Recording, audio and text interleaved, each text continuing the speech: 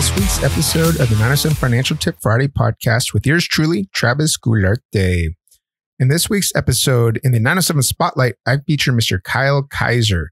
Kyle is a member of the IBEW, and he also started a nonprofit organization called Viper. And Viper is about helping U.S. service members transition from military life to civilian life and helping them get jobs. And he's partnered with some great organizations to help facilitate this transition period for, for ex soldiers. Um, all around great dude. It's a great talk, great interview. Go ahead and let's take a listen to Kyle's talk about Viper and his path to success and how he got to where he's at today. So without further ado, here is my interview with Kyle Kaiser, the IBEW, and the head of nonprofit organization Viper. All right. Well, thanks for joining me, uh, Kyle, here on the 907 Financial Tip Friday podcast. Appreciate having you here. Oh, thanks for having me, man. I appreciate it. Right on. So uh, let's let's give a little background about who you are and how you got to be where you're at, and we'll talk a little bit about the Viper program that you started. So, where are you originally from? I am from Riverside, California. Well, I was born and raised in Chino on a dairy farm, um, and then when I joined the military, that was last time I lived in California. yeah, yeah. You don't go back and visit.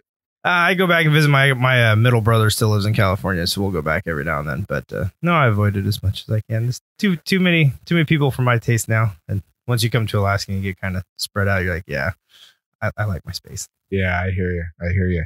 So you mentioned you were in the military. What branch were you in? I was in the army. I was a, airborne infantry. Uh, then I went to sniper school after my Iraq deployment. Um, but yeah, airborne infantry, U.S. Army, right here in Fort Rich. All right, all right. I always love to hear the stories about uh, why people joined. I know for me, uh, I just happened to join my, I was between my junior and senior year in high school. My parents were out of town for two weeks and me and my buddies were just partying up over at our house. And the recruiter called us up and he was like, Hey, why don't you guys all come down? You know, so we all go down there together after a few beers, you know. He's just sold us on this great story that we're going to join and go to basic together and AIT and we'll we'll get stationed together. I mean, we joined and I never saw any of those guys after. but uh, what was it that got you to join? Uh, mine was that right during high school year 9 11 happened. And uh, uh, a bunch of my buddies ended up joining the military various branches. Most of them went Marine Corps uh, in Southern California. They all, all wanted to go to Pendleton. And um, I ended up, I talked to the Marine recruiters and I talked to the Air Force recruiters and, and, um, and then I talked to the Army recruiters. And I, I liked the Army because I could pick uh, my MOS. You know, I could pick my military skills. And uh, at the time, I was young and angry and said, "Hey, I want to jump out of planes, kicking doors, and shoot the bad guy." Uh, and the recruiter kind of grinned and said, "Well, hey, I got the uh, got the perfect job for you. Hey, you ever thought about being infantry?" And I was like, "Oh yeah, that sounds good." And then you know, all the Band of Brothers clips and whatnot. You're like, "Oh yeah, I'm going to do that." So, um, yeah, but that was uh, I had lost a buddy of mine in the Marine Corps. He he had gotten deployed shortly after 9/11, and uh, when he passed, um, that was kind of the okay. I need to do something with my life. I was going to college. Um, I was about oh gosh, just just about done with my second year of college, and uh, I was kind of playing more than playing more than actually doing anything. And then um, when I lost him, I was like, man, you know, I got to do do something more uh, with my life. But I had to deal with my parents. I wasn't going to join the military until I had a college degree. So as soon as I had all the credits for my associate's degree, I went to the recruiters and, and signed up and then came back and was like, Hey, mom, dad, this is a Staff Sergeant Ward was the guy. I was like, I'm going to sign up. And they, uh, but, but you're in college. Is like, ah, I got my degree. And, and uh, that's an associate's. It's like, oh, you didn't say what degree. You just said a degree. So then I, I went and joined and that was that. All right. All right. So you went off and joined the army. Uh, where'd you do basic at Benning then? Yeah, I did basic at uh, Fort Benning and Airborne School at Fort Benning. Uh, and then I got stationed in the 501st. Uh, Five oh worst Blackfoot, uh, uh, Apache, ACO all the way, man. All right, all right. What year was that? Oh gosh, I came up here in uh, 2005. 2000. First time to Alaska at that point. It was, it was, and so I had, I had uh, my recruiter done a good job and, and talked me into doing one of those uh, 18 X-ray uh, special forces contracts where oh yeah, you're gonna get a shot at being special ops, and you know you're going, all right, it's just some like Bruce Willis Tears of the Sun type stuff. This is what I want to do. Uh, yeah, well, the fine print is when you don't make it through selection, you get to go needs of the army.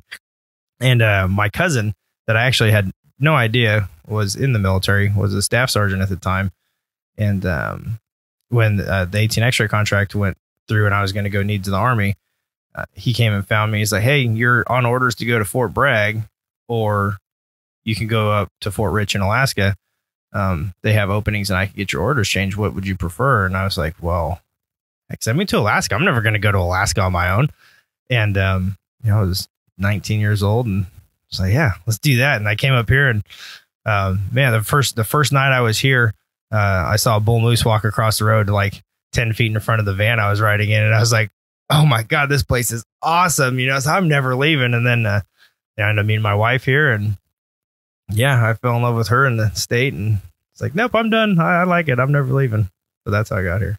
That's funny, man. Uh, I know for me growing up, you know, I was born and raised here in Anchorage, but by the time I was 17, I was like, I just wanted to go anywhere out of Alaska. you know, so I joined, I literally joined the military to get out of Alaska as fast as I could. Um, but you know, like you said though, for me, when I was going back and forth between the Army and Marines, I thought they were both pretty badass, and I wasn't sure which one I was going to do. But when it came down to like contract time, the Marines they couldn't offer like, well, we can't guarantee what your job's Right. going to be. You're going to have to go through, you know, boot camp, and then wherever the Marines need you, that's where where they're going to put you. I'm like, or the Army was like, here's your job. Like you choose which job you want, you know, based off your ASVAB score. And I was scored high enough in the ASVAB to pick whatever job I wanted. But at least I had a guaranteed like contract of what I was going to do for the next four years of my life. Yep. That, yeah, that's exactly what sold me on the Army over the Marine Corps. Cause I'm, I'm not gonna lie. I've always thought the, the, the dress uniforms for Marines, I mean, I mean, come on. It's a, that's a hot uniform. It- it's the Marines, you know, hoorah. And it's the Marine Corps. They're pretty awesome. But uh, yeah, no, the contract was ultimately what, Yeah. what sealed the deal for the Army. Yeah, no kidding. So how many years did you spend in the Army? Oh gosh, I was in just under seven. I got out in November 2011.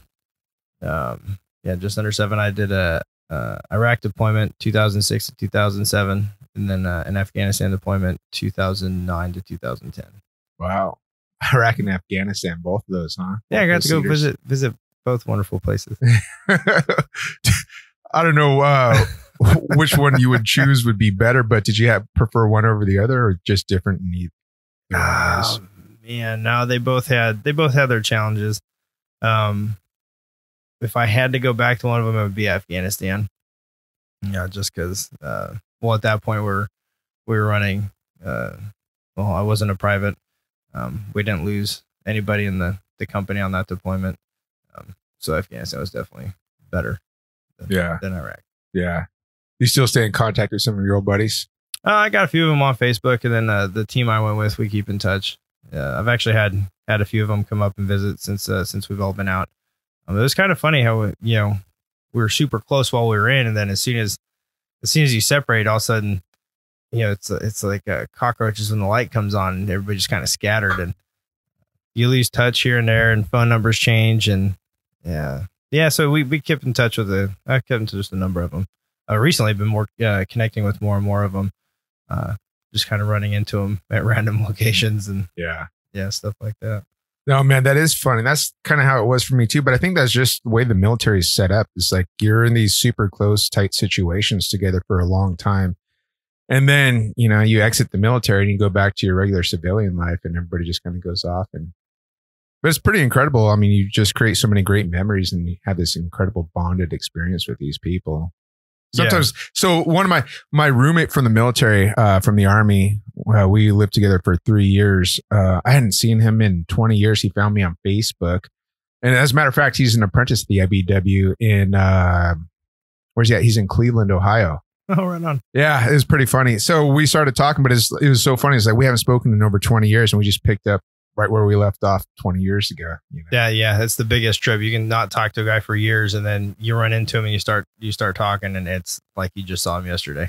Yeah, it's pretty nuts. Except for they've got like wives and kids, and you're all grown up and responsible adults now. And you're like, wow, things have changed, but it's still you. It's pretty cool. Yeah, yeah, I know. We started sharing some old stories about what, what we were doing. It seems like a lifetime ago, though, man. He's, you talk about some of those stories. I'm like, God, I was 19, 20 years old when I did that. I can't believe I used to do that shit. right? Like, mm, couldn't get away with that now. yeah, yeah. So your journey through the military, how was, um, you know, I for me, I had a kind of a hard time. It probably took me three or four years after I separated from the service to really kind of settle down into civilian life. Is is this a rough transition from military to civilian life? It is transitioning out is, uh, not an easy task, you know, and there's there's a lot of uh, just trials and changes. You know, every, your whole life changes. You go from uh, like we're both talking about joining. We're we're teenagers. Um, you really don't know anything. Like, no offense, any teens that might be listening. You're like, we all thought we did, um, and we're ready to take the you know the world by the horn, so to speak. Um, but you get everything told to you. You you know you know you get told when you're when you're going to wake up, what you're going to wear when you get there, what you need to have with you, what you're going to eat. Like your whole day is planned out, and then your free time, you just kind of do whatever you want. You just go hog wild. Um, when you get out, well, that structure is gone. There's no more. You have to be here. You have to have this. You have to. You're expected to know what those things are. And That's an added stress. Uh, and then on top of it, going through when you're in the military, you're still accumulating um, debt, and your family and all that kind of stuff is still happening, just as if you weren't in the military. The difference is that guaranteed every two weeks paycheck. And when that's gone, it's gone. yeah, no kidding.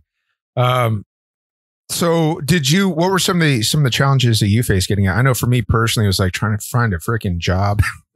I mean, I could find a lot of jobs to do, but none that really satisfied me or I thought was really great. And like you said too, is trying to have that that you know steady income coming in too is challenging. And then but just adjusting from civilian life you know, to civilian life from military life, like you said, the structure that you get in the military is, er, you know, like you said, everything's planned out for you. When you come to civilian life, nothing is planned. It's like you're on your own, you know? Yeah. Uh, it's a, it's a very different, uh, a very different uh, climate for sure. Um, the, the, hardest part for me was when I was getting out, um, I didn't want to have any kids while we were uh, doing our deployment cycles. Um, but when I came over from Afghanistan, my wife got pregnant with our first and, um, the military was nice enough to, to allow us to have my son on base, even though I was already uh, separated. Uh, they extended um, our medical for three months so that we could have him um, with our doctor and everybody who we had, we had gone through with. But um, as soon as he was born, and the, I think they covered a month or something like that. I don't, I don't know what the timeline is, but anyway, they, they took care of us up through through his birth and a little bit afterwards. Um, but then there's no insurance. You know, insurance is gone. The free medical is gone. I'm going, oh now what do I do? And um, so here I was, you know, early, early twenties, mid twenties, uh, wife, newborn kid, going, how am I going to afford, you know, my car, rent, a baby? You know, all of a sudden, all of a sudden, the baby costs it, and you know, diapers and formula and all this other stuff, and you're like, oh my god! And it was really, uh, it was super stressful. And and I I was one of those guys that I consider myself being set up. I had done all the transition stuff like I was supposed to. I attended all the classes. Um, I built all the resumes. I sent out all the emails. I applied to all the jobs. Um, and th- there was still just nothing breaking free. The saving grace for me was that my wife's father, uh, my father-in-law Marty, he happened to be an electrician in the IBEW and said, "Hey, have you ever thought about construction?" I'm like, "Well, yeah, it's the direction I think I want to go." Actually, I was like, I've had enough time in the uniform. I'm not interested in being a police officer. And then the idea of having to draw down on a another American. I was like, no thanks, I'll pass. Um, so I was like, hey, construction's where I want to go. He's like, whoever thought about joining the IBEW? And I was like, no, man, the union? Are you kidding? Like, I can't do that. Like, no way. I was born in a household where the union was a swear word. Uh, issues with the, my great granddad got hurt on the job. Uh, he was a permanent hand back in the day before they necessarily brought in people as members.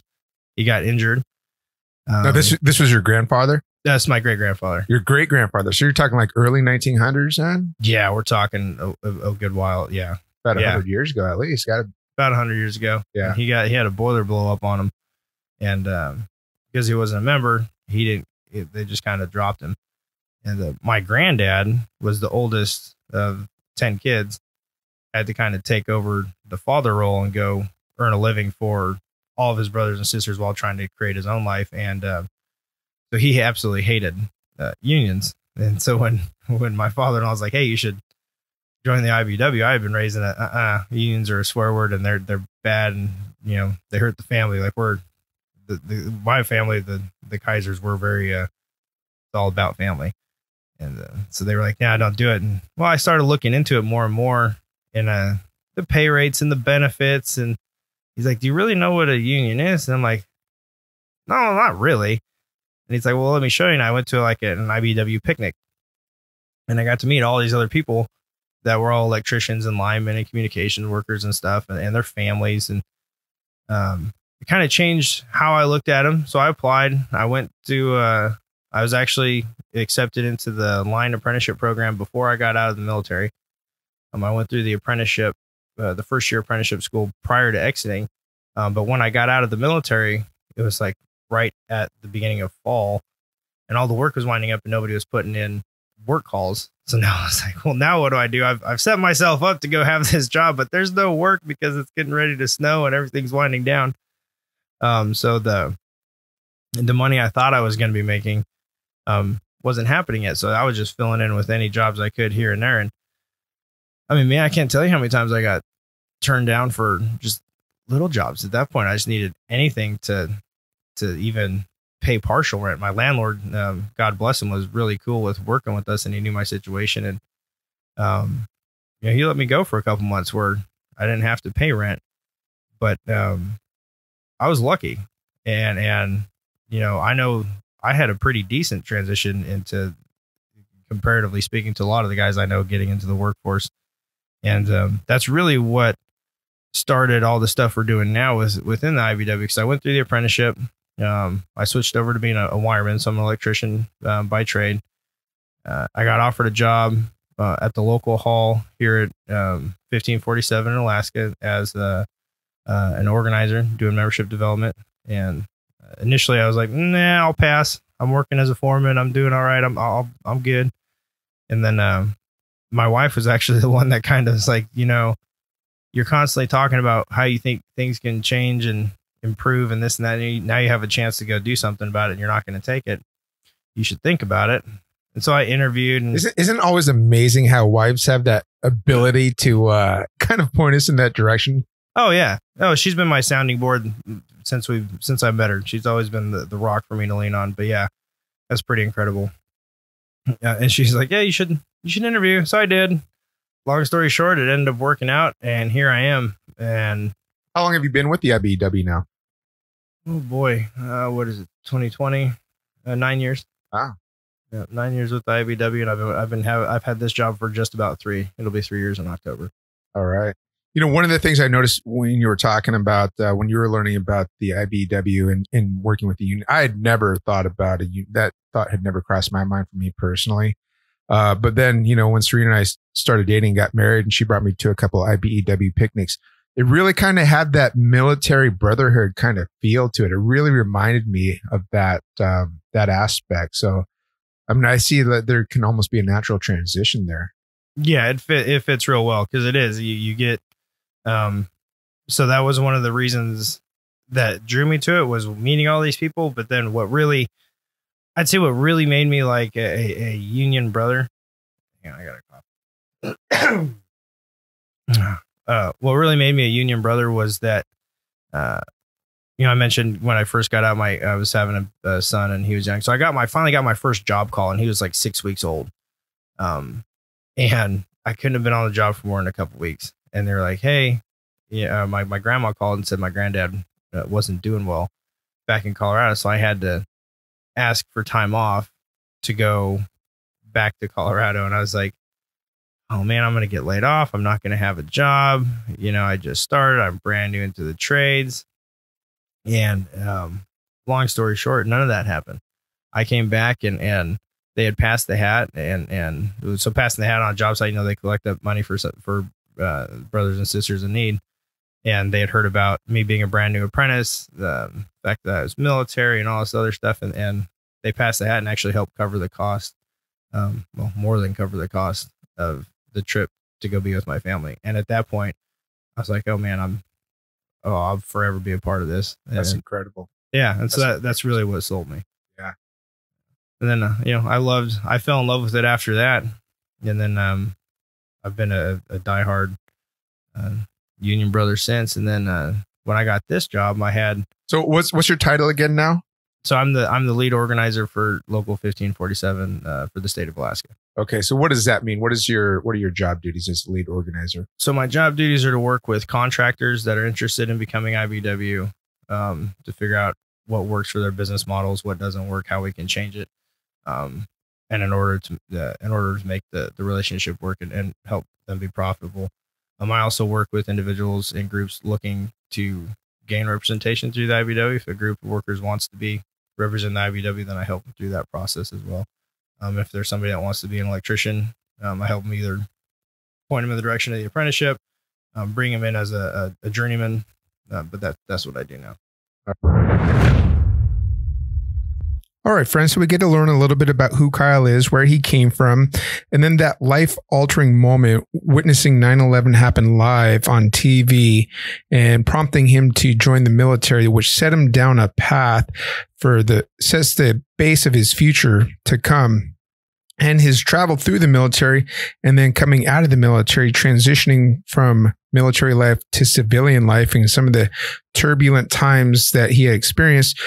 But then it also, we got to learn about how he became to be become a member of an organization like the IBEW, even though his entire family was were not huge union representatives growing up there. Um, we're gonna take a quick break here and have a word from our sponsor, 907 Financial, and then we will learn more about the Viper program when we return. This episode of the Financial Tip Friday podcast is brought to you by 907 Financial, a financial literacy group dedicated to teaching you how to save for your future goals, invest like the pros, and build your wealth. The finance consultants at 907 Financial work with people in private one on one settings throughout the Financial Fitness Academy. Or for organizations and businesses, call and inquire about a group presentation for your team members. To learn more about 907 Financial and how they can help you or your organization, visit their website, www.907financial.com, or check out their Facebook page, 907 Financial LLC, where every Tuesday, Travis Gularte, Senior Finance Consultant, shares a financial tip that you can act on now. 907 Financial, Alaska's premier financial literacy group dedicated to helping you find your financial freedom. Call today to schedule your free consultation at 907 231 0990. That's 907 231 0990. What are you waiting for? Your best financial self is just a phone call away. 907 231 0990. All right. Thank you so much, 907 Financial, for sponsoring this podcast and sponsoring this interview with Kyle Kaiser from the IBEW and Viper program. And I'd also like to give everybody out there who's listening a little update on Wednesday, July 15th. Uh, Travis Gularte, Senior Finance Consultant from 907 Financial, will be hosting a live webinar on student loan debt. So if you have student loan debt and you're trying to figure out how to get rid of it, or you're thinking about uh, incurring student loan debt, this is the webinar for you. So tune in live. It will be free. Platform to be announced. Um, but that's coming up on Wednesday, July 15th. Okay, without further ado, let's listen to the second half of our interview with Kyle Kaiser and learn about the Viper program and how it how he helps transition military service members from military life to civilian life. So you've created a program to kind of help uh, help organize and get people to join the IBEW through the military, haven't you? Yeah, so we launched uh, um, VEEP, the Veterans Electrical Entry Program, here locally um, through the IBEW. And so the way the way VEEP works is the last 180 days that you're in the military, um, you're allowed to attend um, training for your next career. So if you want to be, you know, like in this case, an electrician, you come to us and say, Hey, I want to be an electrician. We go, Awesome. We do that. Um, where do you want to go?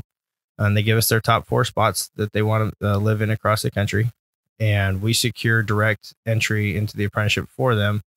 Um, so really our JATCs, our training coordinators, they do all of the, the hard work um, because they get applicants coming in and they go find them um, guaranteed spots uh, anywhere in the country. We have over 300 training centers um, and the training coordinators get that agreement set up. So once the agreement's set up, they attend a seven week um, pre apprenticeship class here locally before they get out, and then when they they get out, the military moves them home, and their next career's waiting for them when they get there. Um, there's no more guessing. Hey, what am I going to do? Where am I going to go work? How much am I going to make? What do my benefits look like? Um, it's all laid out black and white, and so that's that's how it all that's how everything got started here locally with the IBEW was Veep. Um, and Veep came from one of the guys, or one of the reasons that, well, the reason Veep is here is I've been doing uh, this current job for a while, and I called up one of my uh, one of the guys. We we do a periodic like once a year. We call each other just to you know have a catch up, see how you're doing, and uh, he asked me if I, I'll leave the guy's name out of it, if I had heard about one of our buddies that we deployed with, and I said no. Why? How's he doing? He said, "Oh well, he, he killed himself." And I went, "What? What are you what are you talking about? Why?" And long story short, he uh he, he couldn't afford medical bills for his kid. Um, had a hard time holding down employment. He had issues and um, went out in the woods and and that was that. And um, it really disturbed me. So I had to. Then I sat back and looked at my own transition and everything. Like, yeah, there were some rough parts waiting for my first call, but then, you know, that that lasted a, a month or two, three, and then when I got my first call, life totally changed. Now, man, how can I have all the benefits and stuff that I have now, but not these other guys? How do I make that available to them? And that's where I started digging. And I actually found Veep. It had been proposed, oh, like five or six years before we launched it here. Um, at a conference, someone had come up with the idea and said, "Hey, we should we should do this." And there was a lot of head bobbing and yeah, we should, but nobody actually picked up and did anything with it. Um, so when I found it, you know, I had a newfound motivation. I was like, well, we're going to make this happen so that this, this doesn't happen. this, you know, we're going to end suicide this way. And so we started with electricians and it's been great. Um, but then I was a man, not everybody wants to be an electrician. So what more, how can I do more? Um, so I went to all the building trades unions here locally. I, have known them all for years. And um, I said, Hey, I have this idea. And I want you to do Veep style programs within your locals, direct entry, direct hire for veterans and military spouses. And they said, okay, let's give it a shot.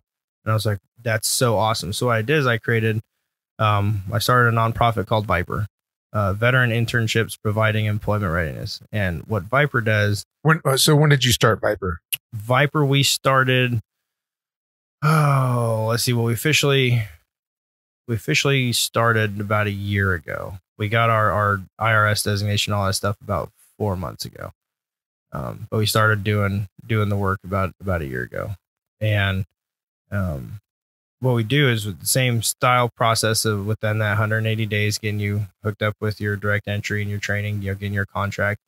Um, but I took Viper, so I went to all the building and construction trades and I was like, well, let's do construction first because I know all the construction people.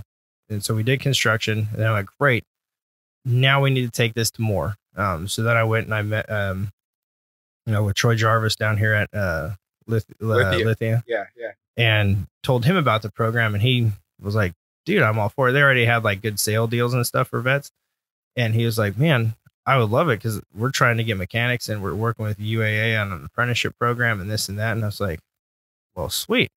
we should partner. So he actually he sponsors the the Viper truck that I drive around. Oh, super cool. Yeah, yeah. And I was like, cool, man, this will work. So we send when so now when I go to talk to transitioning soldiers and military spouses, we can offer them, you know, building trades plus mechanics and salesman jobs at Lithia. And I went, this is great. Let's see how much more we can do. So now we're partnering and working with. Uh, I use partnering loosely because I know there's legal ramifications with partnering, but we're working with FedEx and uh, Southwest Airlines, um, which is actually hilarious because they're not in Alaska.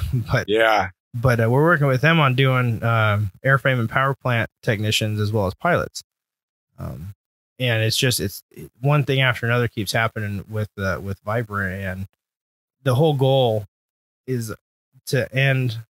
So when you start talking veteran suicide, there's a couple things that uh, all of them shouldn't say all of them, most of them have in common, and it's unemployment, underemployment, alcohol and drug abuse, and those the alcohol and drug abuse can usually stem from something going on at work and not being able to provide.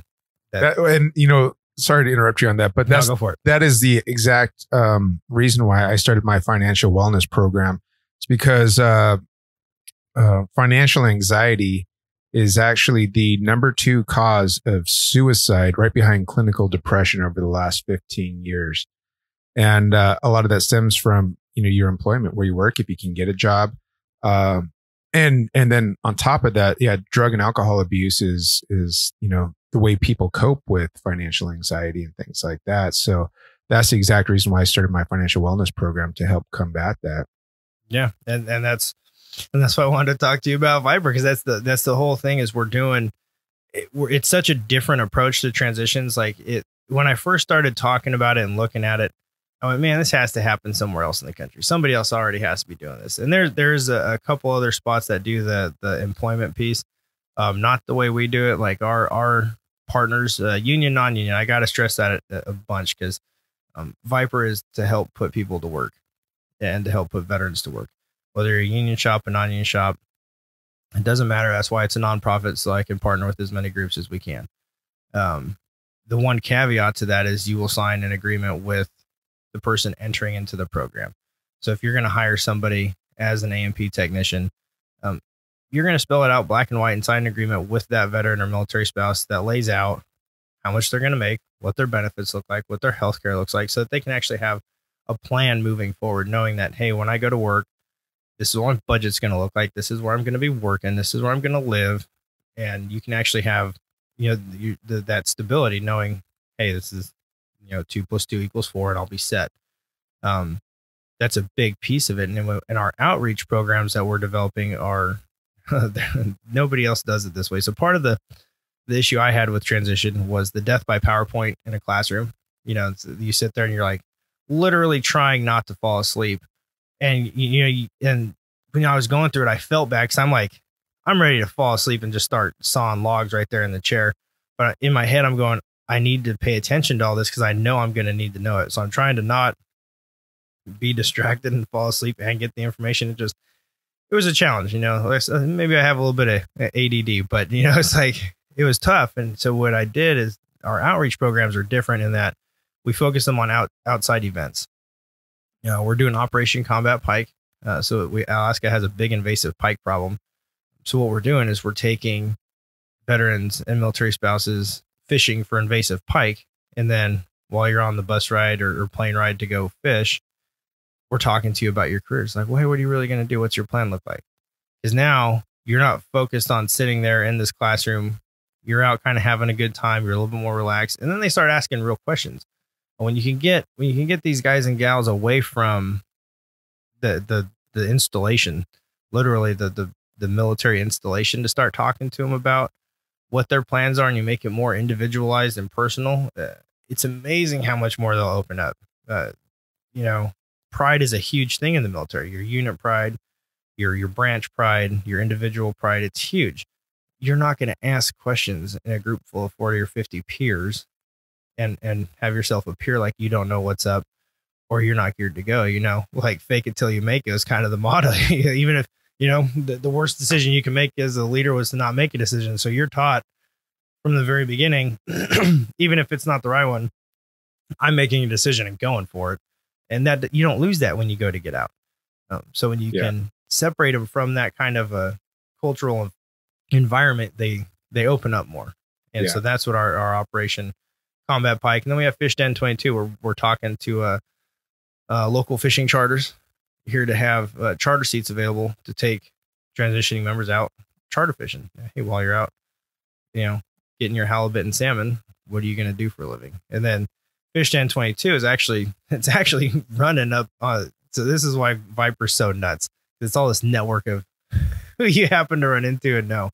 Um, my buddy Scott Heisey lives uh, like 30 minutes outside of DC and he's a he's got his 100 100 ton uh, master boat captain license and uh, he's running fish den 22 on the east coast and he's taking people fishing on the east coast and talking to them about careers. So we actually get people from all over the country now asking about um, the program and how they can get into it and how their companies can partner with us and and um yeah man it's just it's going nuts. That's great. So so uh, if a company is interested and wants to be wants to partner with Viper or work with Viper, uh, they don't have to organize as a union. This is not a union program, right? This is to help put vets to work, transitioning vets to work. Correct. Yeah, they don't have to be. They do not have to be a union program. Um, obviously, those options are always open, but no, they do not have to be a, a union program. They're going to be required to to put um, pen to paper to make sure people are taken care of. Um, yeah, no, that was the whole idea with the the nonprofit. Like we're we're we're definitely union backed. You know, the, the IBEW is all over it, and the building trades unions are all over it. Um, you know, they're they're my main sponsors, and they they support support everything we're doing. But yeah, no, it's open. Uh, it's open to everybody by design. Um, the more avenues people have to take, the better. Very cool. Very cool. Uh, you got any good success stories from people uh, transitioning from the military and taking advantage of the Viper program? Um, well, we've got we've done two cohorts of the electricians, so we've just had their second class. Yeah. Oh, so okay. Uh, what's can you can you describe what the cohort is then? Yeah. So when we um, I work with the different uh, training coordinators uh, for all, all the unions and the IBEW with their V program. They put on however many classes that they've decided to put on in, in a calendar year, um, set up for VEEP candidates. And like we just had one graduate here a month ago, two months ago. What are we in June? Gosh, probably a couple months ago now. It's all blurred together. These last few, um, and uh, so we took in 15, I believe was last this last class. So we put in we brought in about 30 electricians uh, through the through the program in the last uh, two classes that have gone on. We're supposed to be hosting another one here, I believe, in September. And then um, the recent developments with Viper has been the, the ironworkers. Um, they are going through all of their apprenticeship standards and making it so that uh, they can take Viper candidates across the the northwest northwest district. So that'll be happening this fall as well. Oh, very cool. And then locally, the building and construction trades are open during their application periods that we can um, send people their way as well. Very cool. So, uh, what's part of the training in the Viper cohort then? What What do you guys cover? So they the, during that the, um, the so during that training, you essentially you'll go to your pre apprenticeship. So it's it it it's like the ironworkers isn't quite their full first year's apprenticeship class curriculum. It's pretty close. Um, it's enough to put you on the job and get you working, and then they can fill in the, the blanks whenever or fill in the gaps whenever you get uh, get where you're going. Um, the IBEW is the same way as far as um, the training. It's a seven week seven week program. They go through seven weeks of uh, hands on and classroom training uh, here in Alaska. Um, and uh, the one thing I, I I do have to make sure I get this out there too about um, Viper and VEEP in these programs is um, they don't cost the veteran or military spouse anything. Oh, that's good to know. It's all um, privately sponsored, funded um, money. Milwaukee Tools um, sponsors the electrician program Veep. Oh, very cool. So it doesn't cost it doesn't cost the veteran. It doesn't cost um, the local uh, the JTC. Uh, you know, minimal amounts to, to host to host the classes. Um, because that was the other thing with with starting Viper. It's like, man, I gotta have I gotta have a way to put more people into it because ultimately, you know, be a realist. Uh, it comes down to dollars and cents. Uh, anytime you have the greatest idea in the world and an awesome program, but if you don't got the dollars and cents added up to make it work, it's not going anywhere. You'll get a lot of, yeah, that's a great idea, but I don't see it happening. So with Milwaukee taking care of the electricians and then IBEW taking point on, on with Veep and doing that, um, Viper, it was created to help all these other groups out that, that might not be able to afford or have the connections to do that. Um, so when we go do fundraising, and that's why as a, as a nonprofit, you can you can donate to it. And what we do is we sponsor people through those classes. So if, if uh, I'll use ironworkers. They want to put on a class between um, grants that they can get as an organization, um, and then sponsors from Viper. We can help offset costs so that it's still free to the veteran military spouse. One of the big things that I refuse to do is be one of those programs that um, charges uh, you your GI Bill uh, for a pre apprenticeship. Um, in my mind, that's that's just crooked thievery. But it's just eh, there's no reason for it. I want you to use your GI Bill to boost your your your uh, career. You know, it shouldn't be what you have to use to get into one. So the whole goal is that if you use it while you're on the job, so you can use your GI Bill while you're at an apprentice, right, to offset, um, you know, whatever you're making in the military versus what you're making on the job. And I did that, and I'm okay with with people who choose to do that. But if you choose not to and just um, do the apprenticeship and get paid uh, your normal wages and then save your GI Bill.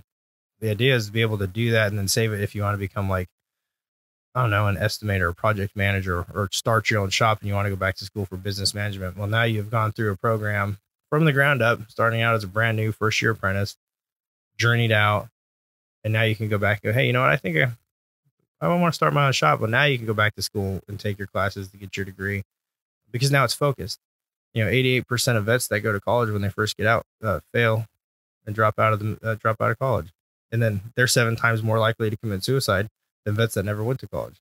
Not that I'm knocking college; it works great for some people. I get people like, oh, I'm not saying that, but statistically, uh, that's that's the reality of it. Yeah, most of us don't make it through college, and and then that's a whole new stressor because you just use your benefits on something that you failed out of, and now you you just failed, and that you don't know how to handle that, and that whole whole another mental side of it. And man, actually, I did not. Uh, I've never heard that statistic. I didn't know about that. Um, that kind of blows my mind. I well, for me, I used my GI Bill when I get out of the military and went to college. Uh, I was kind of in a lucky scenario, though, I guess, because I had in-state tuition here at UAA and the GI Bill and then I'm Alaska Native, so I had some Alaska Native scholarships. And then I was working for FedEx at the time, and they have a great tuition reimbursement program. So I ended up spending eight years in college, but I changed my major four different times, and I was I was making like three to four thousand dollars a month to go to school. So I was like in a really unique position, and I finally got to the point where I was like, all right, I'm going to have to grow up and graduate at some point. And that was like the hardest part for me. I was like getting, actually getting out of college with a degree just because I was having so much fun studying. And, and, you know, also, God, when I was in high school, man, I put little to no effort in my schoolwork. And I think I graduated with like a 2.3, 2.4 GPA. But when I went to college, I graduated college with a 3.8 GPA. I mean, like I was just much more focused. I think, and I attribute that to my military experience too. So, but I had actually never heard that statistic that you were mentioning before, and it does make sense. So, yeah, because I, I think it's a lot of it has to do with having no no focus. You're not real sure. It's just kind of a oh, that's what everybody does. So that's what I'm going to do. But then they're not the the motivation and focus aren't there to actually make it work. Um, yeah, that's just it's the way it is. And so if we can help point them um, well, because like a lot of guys, part of the conversations I have with them is, you know, I'm going to get out and go to college. Great. What are you going to do? Well, I don't know. Okay.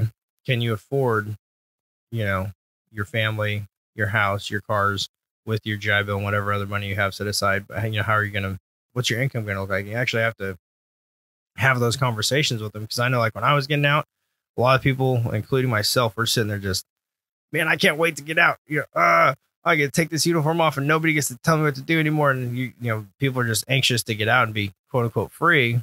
There's a lot of responsibility that comes with that freedom. And uh, it's making sure that they're prepared for that, regardless of what the choice is. Um, this avenue, you know, we, we set it up to present uh, direct employment opportunities and, and direct enrollment opportunities um, for quality careers. Places yeah. that have, you know what you're getting um, and you're not guessing. Now, if you want to go back and supplement that and take classes while you're working, rock on. Yeah. But it shouldn't have to be a, a yeah, we're not going after GI bills. That's a big, that's a big pet peeve of mine because there is all sorts of places that offer you the world if you give them sign over that GI bill to them. yeah. And it's like, nope, you can't let that happen. Hang on to that. So if you want to go to school, you can use it. But yeah, yeah, yeah. guard that thing. Yeah, absolutely. So what do you see? What does the future for Viper look like? Oh gosh, the future for Viper. I'm working with uh, DoD and stuff on getting uh, memorandums of understanding to go and do presentations at um, all the the transitions offices and whatnot. Uh, one of the big pushes and focuses I have right now is uh, working with the guard more uh, to make sure that the the local the local uh, guardsmen and women and their families have opportunities. Um, you know, they they they're another very high risk demographic when it comes to veteran suicide. Um, a lot of people don't know that, but um, National Guard are leading the leading the, the charts on that one. Um, and then I really we really focus so we're really focused on guard uh, and spouses. Military spouses are hardly ever talked about when it comes to and they carry like the burden like oh for I don't know any military guy who would have made it who couldn't have made it through the military without having a good, strong spouse there to help support, you know, that that family unit. Oh yeah, for sure. I mean, my my my wife's getting a, a, a free admittance into heaven for putting up with me for all these years, man. It's a that's there's no doubt about it. And and, and the sad truth is, is that they go unemployed a lot. Um, and it's mostly due to the fact that they're, they're going to PCS and move. You know, so you might be at a duty station for two, like here it's three years. Um, some employers aren't interested in hiring you because they figure it's going to take them about a year to get you to where the, you want them, and then if you're only a two year station and moving, well, you're going to work for me for about six months, and then you're going to have to go pack up your house and leave. So I'm going to spend a year getting you where I need you to be, and then you're going to leave. So they just you know get hired. Um, so what we're doing with our network and, and creating our program is to have it to where that spouse can just transfer wherever they are around the country, but still have the trainings and credentials uh, to follow their service member around and have employment wherever that place is at and have their own careers in addition to uh, the service member. Oh, that's fantastic. Yeah, that'd be a great opportunity to grow the program. I could totally see that happening, expanding. Yep, garden spouses. Those are our big pushes, and then our outreach programs. We're really we're really making a push to get uh, Operation Combat Pike up and launching. All right, fantastic. So, if somebody was interested in working with Viper, how would they get a hold of you, or who would they contact? Uh, so right now we're on Facebook, and and they can do Facebook messaging here within the the week. We'll be putting up our uh, our website. So it'll be vipertransitions.com. Um, will be our website. Um, it's not launched and functioning yet, but it's coming up here this week. Fantastic. All right. Any third parting thoughts or words you'd like to share? Um, yeah, if you're not sure what you're going to do when you get out, uh, ask people who have already gotten out. Lean on lean on that network. Um, do, do pay attention when you're in transitions class and your TAP class, and uh, create your social media accounts. All the stuff you're going to hear when you're there. You know, uh, make sure your emails are professional. They're not some weird name. Know your audience when you're talking to um, possible future employers and whatnot. Um, and thank you for your service. But just remember when you get out, you're just like everyone else. Nobody's going to owe you anything. And uh, your your discounts at, at drive throughs goes away too. So um, I just saying, you know, be prepared for that harsh reality, man. There's there's a lot of these guys that think they get out. No, man, uh, you ain't gonna get a whole lot of you know. Thank you for your services. Where it's gonna end. Nobody's gonna give you any handouts. So you need to be prepared to go fight for it. Truer words have never been spoken, man. Truer words have never been spoken, that's for sure. Well, all right. Uh, Kyle, really appreciate all your time uh, and sharing um, what you're doing with Viper. I think it's a fantastic project, and I'm really excited to be, you know, help out wherever I can and be a part of it too. So thanks a lot for that opportunity. Appreciate it. Oh, thank you for having me, and uh, yeah, I look forward to working with you on it. Right. All right, friends. So that was my interview with Kyle Kaiser from the IBEW and Viper program. A great opportunity for transitioning service members to become a part of to help smooth over that transition from the military world to civilian life. And for all my business owner friends out there who are listening, and as you begin to reopen your businesses coming out of this global pandemic that we're in, you know the big thing is is staffing right and so if you're looking for good qualified candidates to help fill some of your positions well what better candidates could you hire than an, an ex-service member somebody who's got a work ethic they know about team camaraderie they can take orders they can give orders they can make decisions there is literally no better candidate pool than to pull from them from ex service members. So if you're a business owner, man, get in contact with Kyle. Check out the Viper program and see what you can do to help partner with Viper and uh, fill up and staff your team with some great, hard working individuals. Well, that brings the conclusion to this week's episode of the 907 Financial Tip Friday podcast and the 907 Spotlight. Tune in to next week's episode when I will be talking about missing money and escheatment. It's a real thing out there, friends. And I guarantee you, somebody out there who's listening has missing money, and I'll tell you how to find it and how you can retrieve it. Also, remember Wednesday, July 15th, live webinar, 6 p.m. Platform to be announced that will be coming up soon. Thank you so much for listening to this week's episode, and we'll talk soon.